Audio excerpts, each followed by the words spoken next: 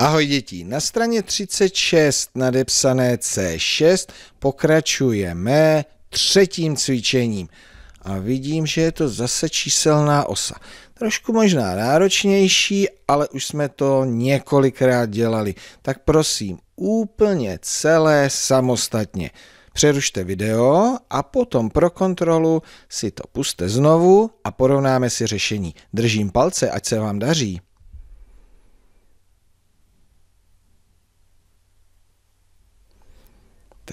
Jak jste postupovali? Nejdříve přečetli jste si to zadání, že jo? Spočítej, nakresli a napiš. Počítali jste příklady, takže nejdřív rámeček červený 8 minus 3 rovná se 5.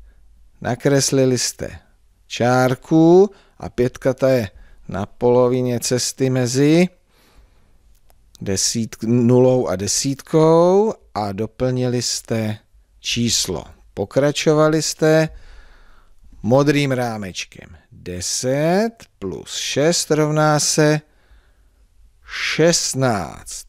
Tak, 0, 5, 10, 15, 20, takže 16 je i hned za 15. Tak, ale ještě se mi se musí vejít.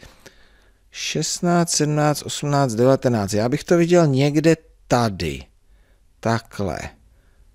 16. Jdeme dál. 10 plus 9 rovná se 19. Takže 19 je i hned před 20 a nemůžu to nalepit, to bych to tam nenapsal. A stejná mezírka jako tady, takže asi takhle. 19. Další. 12 minus 10 rovná se 2. Aha. A tady mezi nulou a pětkou, jenže nemůže ta dvojka být tady, protože tam bude jednička, takže jeden, dva, tři, čtyři, takhle nějak, je, tak až, až, až tady. Takhle dvě, no to jsem zvědav. 15 minus 4 11, i hned za desítkou, takže podobně jako s tou šestnáctkou.